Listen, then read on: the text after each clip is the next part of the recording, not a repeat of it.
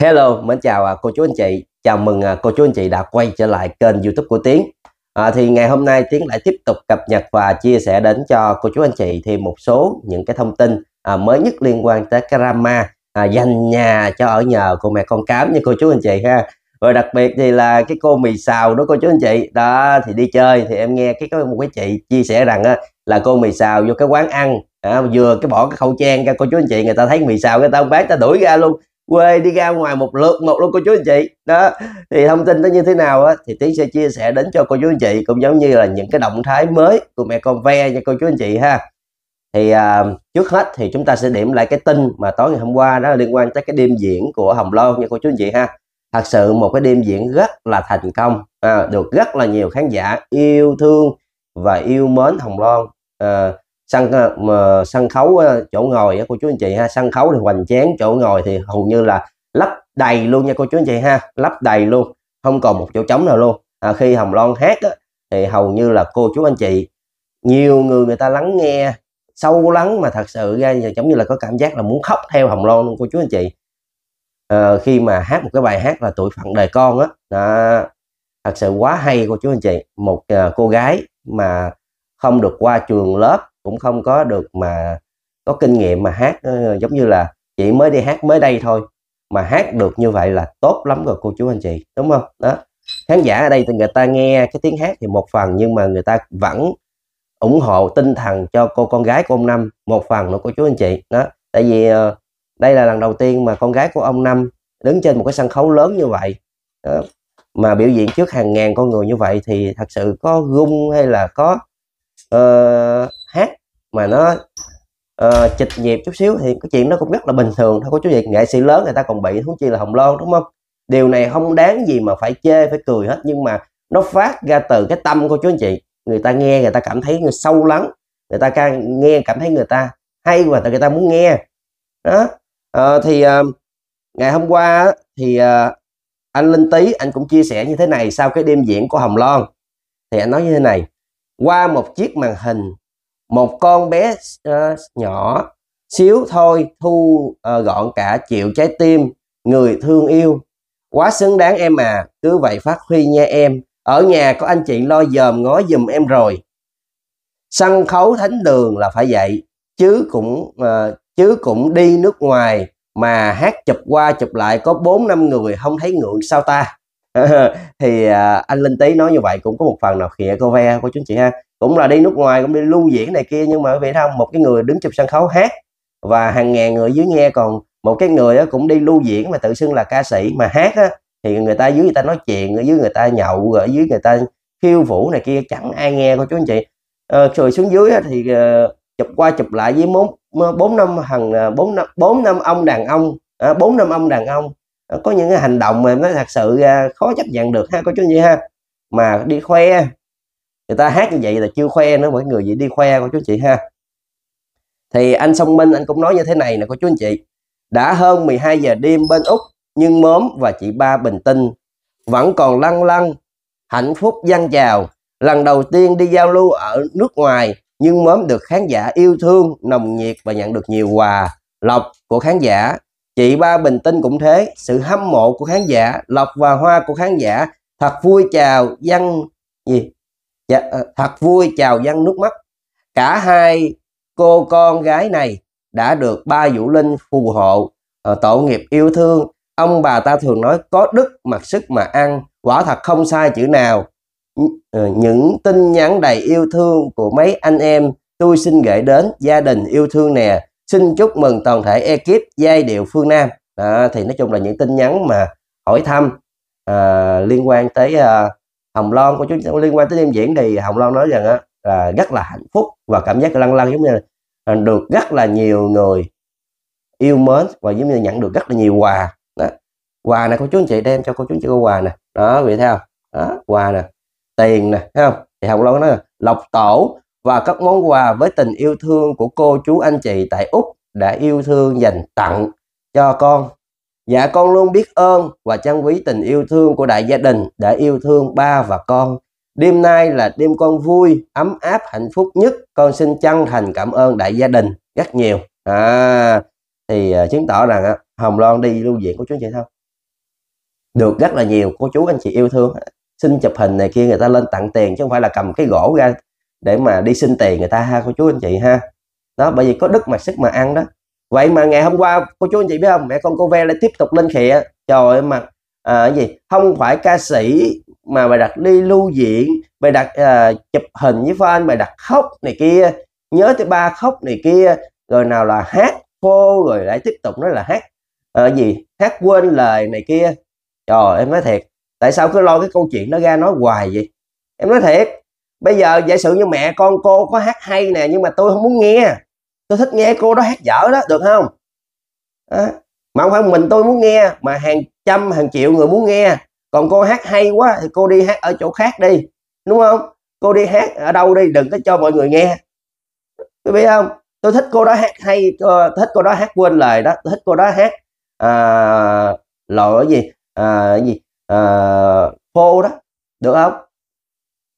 Người ta hát phô hay hát gì đó thì mọi cái thứ đó thì đều có thể mà sửa được của chú anh chị. Từ từ càng ngày á thì nó sẽ càng tiến bộ, cái đó học được hết.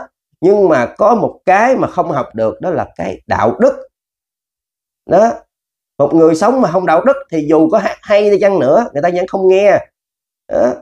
bây giờ cô có ăn mặc sang trọng hay đẹp đẽ gì chăng nữa, đứng trên sân khấu mà ta không muốn nhìn á thì thua một cái cô mà mặc đồ ngủ đứng trên sân khấu nữa. Bây giờ đừng có chê người ta đúng không? Trước khi chơi người ta mình phải nhìn lại. Ủa, tại sao ngày hôm nay mình chơi con nhỏ đó mà con nhỏ đó lại được đứng trên sân khấu hát hàng trăm, hàng ngàn người nghe mà đây không phải là khán giả ở Việt Nam, mà khán giả ở hải ngoại.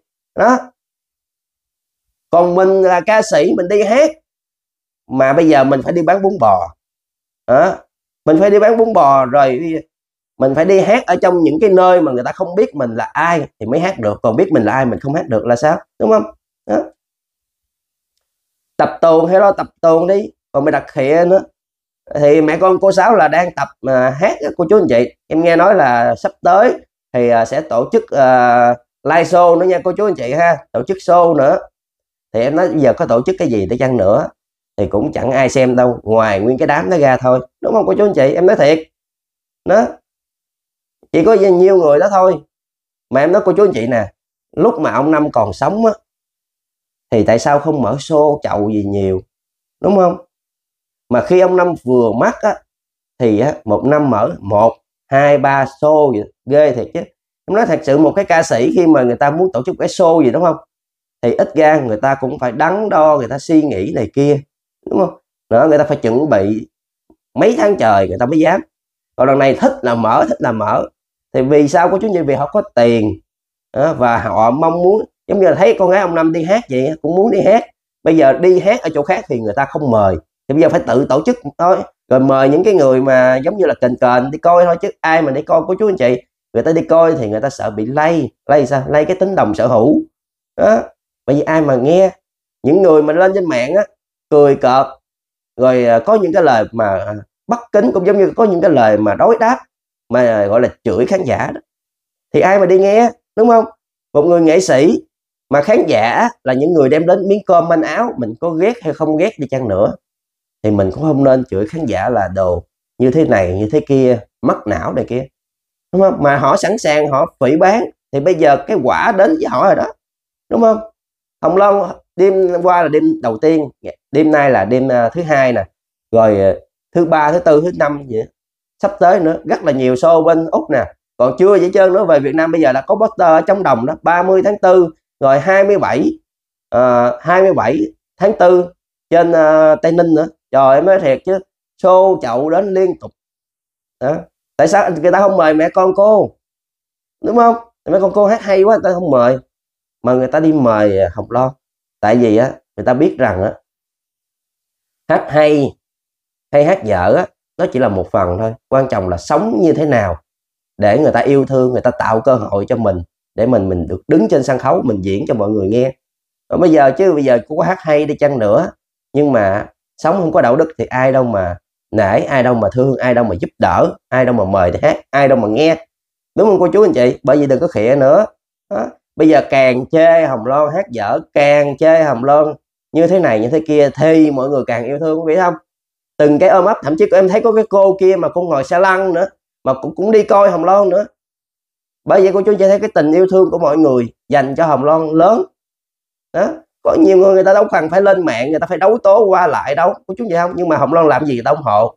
Hồng loan bán hàng người ta ủng hộ. Hồng loan à, đi hát ở đâu người ta ủng hộ. Điều đó đủ rồi. Không cần phải lên la làng là ủng hộ hay gì. À, mới là sự yêu thương đâu. Đó. thì à, liên quan tới ông sạc pin ha cô chú anh chị ha. Thì à, tới ngày hôm nay thì em vẫn khẳng định và chắc chắn luôn là một trăm phần trăm là ông sạc pin không có về nha cô chú anh chị ha. Và cái ông đăng cái tấm hình đó là, ông nói là khịa của chú anh chị, cái tháng tư là nói nói chung là ngày nói dối đó. Đó.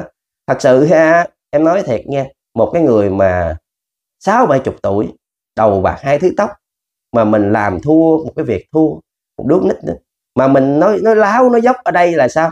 Nói láo, nói dốc ở đây là đem cái người đã mắc ra để mà nói láo, đúng không? Tại sao nhiều cái nhiều nơi mình chụp, mình không chụp? Mình đi chụp một ông năm rồi mình cho thông tin rằng là mình về. Rồi mình bắt là à, những người yêu thương Hồng Loan là phải thề thốt rằng á là ông Năm có yêu thương Hồng Loan hay không? Trời em nói thiệt với cô chú anh chị tại sao lại làm như vậy? Ai là người ai là người lo người đã mắc ra đúng không? Tới cái người đã mắc mà mình còn không tôn trọng mình đem ra để mà mình khịa nữa. Thì em hỏi cô chú anh chị nó như thế nào? Có yêu thương không? Đó. Quý vị thấy đi mình về thì mình ngang nhiên mình về. Đúng không? Mình không làm sai gì tại sao mình sợ mình lén lén lúc lúc như vậy? Đó. Đặt chụp đăng lên rồi bây giờ cho thông tin là tôi, tôi về Việt Nam tôi sẽ à, gì? Tôi sẽ xuống dưới à, mộ ông năm tôi sẽ mua miếng đất xong rồi đặt bài thơ lên này kia. Quý vị thấy không? Cái nơi mà người ta mắc á người ta mắc rồi mà còn xuống để mà đem ra để mà làm chế diệu cũng giống như đem ra để mà nói này nói kia nó không có tôn trọng thì làm gì mà người ta phù hộ cho đúng không? Cô chú anh chị làm gì mà yêu thương đúng không? Đó. Như đó đủ hiểu rồi. Đó, ngày hôm nay có dám về đâu? Về về đây là toan. Em nói thầy về đây mẹ con cô sáu không cho về nữa. Tại sao? Thà con cô sáu qua bển chứ không cho về. Tại sao? Về đây á lỡ về đây cái ờ, ông giáo ông tóm cái là lên khai hết trơn. À, chích sức cái, cái uh, sao kê ngân hàng thì ra hết trơn nữa là khổ nữa. Bởi vì đâu có dám cô chú anh chị. Chỉ bếp bên kia thôi. Chứ trong lòng cũng muốn về lắm nhưng mà không về được cô chú anh chị. Đó thì đó là liên quan tới những cái thông tin mẹ con cô ve cộng sạc nha. Còn liên quan tới cái cô mà mì sao thì em thấy ngày hôm qua đăng hình lên là đi chơi vẫn lo làm. À, em thấy đăng mấy cuốn sổ đỏ ra là giống như là đi uh, mua đất này kia thì không biết có hay không cái đó mình không dám khẳng định. Nhưng em thấy ở dưới ghi á, thì ghi cái ngày khác là cái ngày năm 2023 rồi. Thì uh, chắc là cũng lấy hình cũ ra để đăng thôi cô chú anh chị. Với điều kiện bây giờ thì em nghĩ rằng uh, làm gì mà làm cái này cái kia nữa đúng không cô chú anh chị. Đó nhưng mà cái thông tin này là em nghe người ta kể lên nha. Là cái cô mì xào á đi vô cái quán ăn đó, mở cái kêu quán ăn cái người ta vừa mở ra cái người ta thấy cô mì xào người ta bán người ta đuổi ra quê sệ đi ra cô chú anh chị. Bởi vậy sống ở đời sao không? Có đức mà sức mang còn sống mà, mà vô đạo đức á, thì em nói thiệt cô chú chị đi đâu người ta cũng không tiếp đón đâu.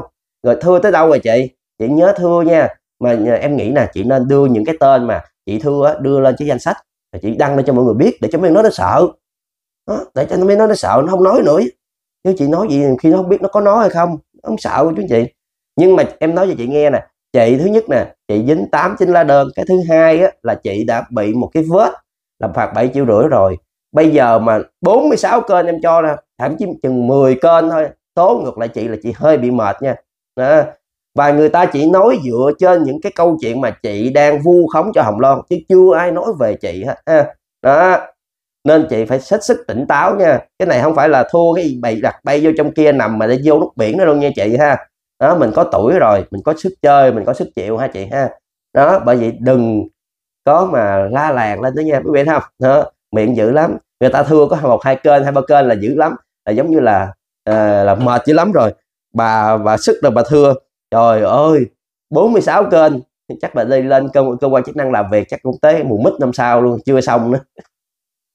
Bởi vì thua luôn cô chú anh chị. Không gành luật mà từ từ nói mình là gì? Tư vấn lực tư vấn lực mà bị phạt 7 triệu rưỡi. Không biết ai không biết tư vấn như thế nào hả cô chú anh chị ha? Đó. À, còn một cái thông tin mà muốn chia sẻ cô chú anh chị thì liên quan tới cái việc mà dừng drama. Em nói như thế nào? Mình là những người lớn mình là cái người vì yêu thương mà đến không? Mình dừng là mình nói dừng. Không có bất kỳ một lý do gì hết đúng không cô chú anh chị? Đó, để dành được cái sự tôn trọng. Đó, chứ không phải là mình đổ thừa này kia. Em xin hỏi nè có một cái comment nào hay là một cái bình luận nào hay một cái lời nói nào của Hồng Loan là nói xấu về các anh các chị hay không? Không có. Không có một cái gì hết. Ủa tại sao vậy mình trách Hồng Loan? Không lẽ bây giờ á mình ủng hộ Hồng Loan là mình bắt Hồng Loan phải uh, nói với người này phải nói người kia. Rồi những cái người xung quanh Hồng Loan là không được nói gì hết. Thì đâu được của chú anh chị đúng không? Mỗi người đều có một cái cuộc sống mà. Đúng không?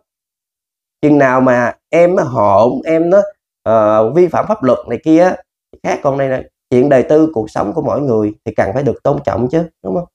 Đó mà em thấy cái sự việc này nó rất là đơn giản tại sao lại kéo đi quá xa ha? Chỉ cái việc là à bây giờ Hồng Loan đã có luật sư rồi và Hồng Loan đang làm cái việc sao kê và Hồng Loan sẽ cũng hứa rằng á, là tôi sẽ làm tới cùng. À, cũng rất là cảm ơn anh luật sư kia đã à, có ý định để mà làm luật sư.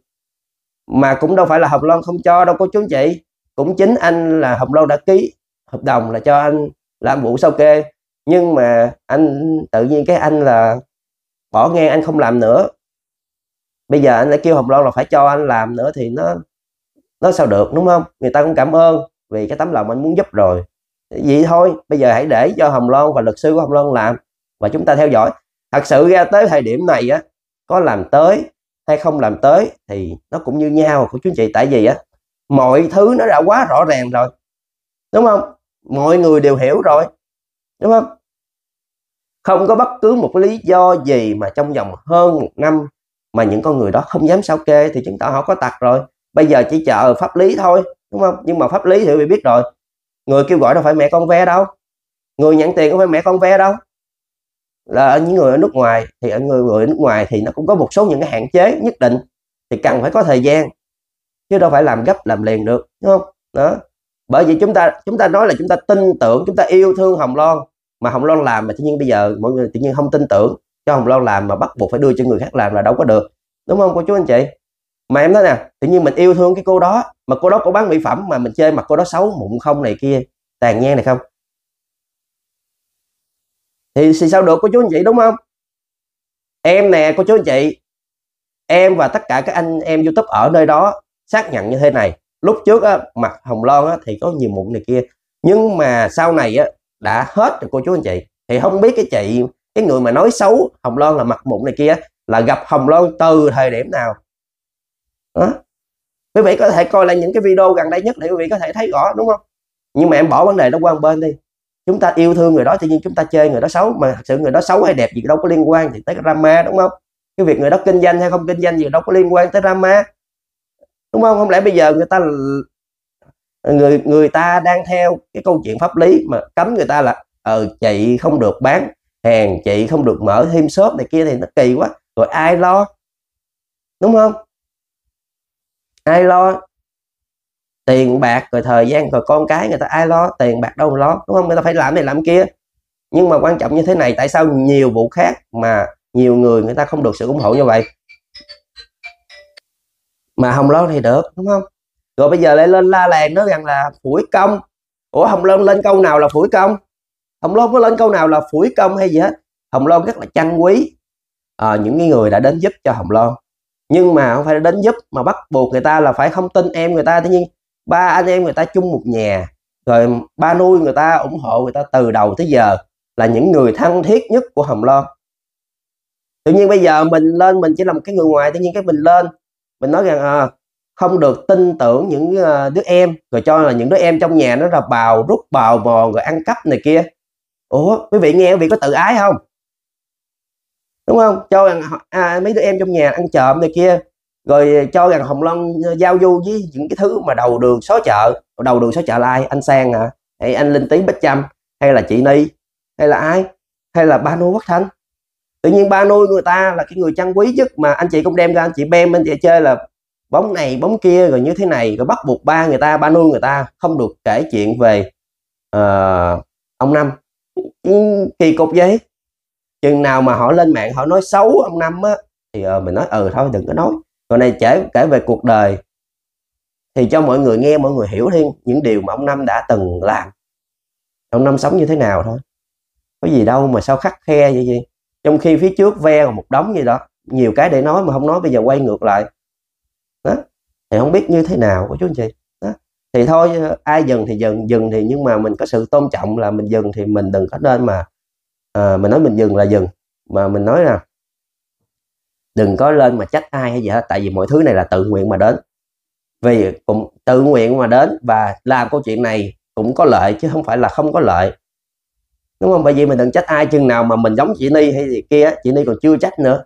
Huống chi người ngoài mà trách đúng không? Mình đến đây mình làm mình có tiền. Mình có thu nhập. Mình có nhiều người ủng hộ. Rồi bây giờ mình dừng thì mình dừng thôi. Chứ mình dừng mình nói là họ vô ơn. Là không có được. Đúng không cô chú anh chị? Đó mà thật sự ra tới thời điểm này quý vị thấy rằng hồng loan chưa có đăng một cái tin nào hay chưa nói cái gì nữa hồng loan chỉ nói à, những cái gì những người mà đến với nhau sự không hợp nữa thôi thì chúng ta à, không nói chung là không nói đến đừng có để cho cái câu chuyện này nó mất vui mất đi những cái tình cảm này kia. Đơn giản vậy thôi. Đó. Trời ơi tự nhiên mình lên đem đem những người xung quanh hồng loan bem xong mới đem ờ, người thân của hồng loan bem đem em người ta bem xong bem ba nuôi của người ta luôn. Đó. rồi bây giờ lại trách là hồng loan vô ơn nữa rồi. Xong thấy cái mùi sau đó quen quen như vậy? Thật sự khó hiểu của chú anh chị đó. Thì đây là một số những cái thông tin mà tiến muốn cập nhật và chia sẻ đến cho cô chú anh chị trong bản tin ngày hôm nay. À, cô chú anh thấy hay nhấn like, subscribe và chia sẻ. Xin mến chào và hẹn gặp lại cô chú anh chị Ở trong những bản tin tiếp theo. Bye bye.